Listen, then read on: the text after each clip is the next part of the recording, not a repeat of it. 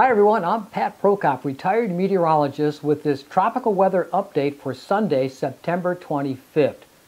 Tropical Storm Ian is slowly getting better organized today and it is poised to start a cycle of rapid uh, intensification. The mid to upper level shear that has been inhibiting storm formation is easing up now, which will allow the storm to take on more of a tropical characteristic. This storm is moving into an area of very warm waters of the northwestern Caribbean Sea, and with the low wind shear arriving, this will allow for rapid intensification from a 50 mile per hour tropical storm into a low category hurricane overnight. From there, it only gets better for the storm, worse for us. It will then be moving into the southeast Gulf of Mexico, where it will tap into a high heat source of water temperatures around 90 degrees. This, along with a low shear environment, will cause the storm to continue in a rapid intensification cycle, ramping up to a Category 3 hurricane, that is with winds of 115 miles per hour by Tuesday morning, possibly reaching Category 4 with 130 mile per hour sustained winds by Wednesday afternoon.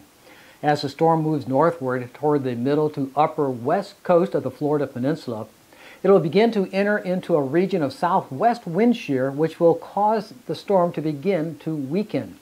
As it moves further inland, it will continue to weaken more, but the base of the tropical to gale force winds, that is 39 miles per hour to 55 miles per hour, to some storm force winds, that is greater than 55 miles per hour, will begin to expand, covering a large region of damaging winds including our area here of southeastern Georgia and southern South Carolina. It appears that the center of the storm's circulation will be to our west, moving northward through western or central Georgia toward northwest South Carolina. This will put us in the volatile side of the storm, which has a higher probability to generate damaging short path tornadoes. The squalls associated with the storm will produce short periods of extremely heavy rains along with strong gusty winds. And this is where most of those tornado activities would be found. It appears that the greatest threat to our area from all of this will be from Thursday afternoon through early Saturday morning. This will be a slow moving storm.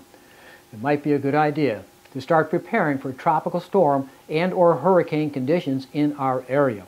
Start by putting your hurricane plan into place and closely monitor forecast updates by tuning into your favorite local television station and other reliable news sources and to our local National Weather Service meteorologists from Charleston and from Jacksonville for our southern counties and from Peachtree City, Atlanta for our western counties and monitor your local emergency management agency and heed to their advice. It is quite certain that unless the storm shifts much further eastward, and that's not likely to happen, that evacuations will not be needed. However, if you do live in an unsecure mobile home or dwelling, make plans to seek shelter in a stronger structure now. I will continue to monitor this storm and advise you to do the same. Now you can find me on my website of savannahpat.name or on my Weather and Nature Facebook page and on Twitter at Pat of Savannah. And on my YouTube Weather and Nature channel, just type in Patrick Prokop in the search and there you'll find it. I have links to all of these uh, in the description section below, right below me here. You are also invited to leave your comments in the comments section below the description area. Now, if you like this video, please hit the like button and give it a thumbs up. Yeah. Also, if you subscribe to this channel, you will be notified whenever I upload new videos. You can also catch me on my main YouTube channel, Heavenly Backyard Astronomy.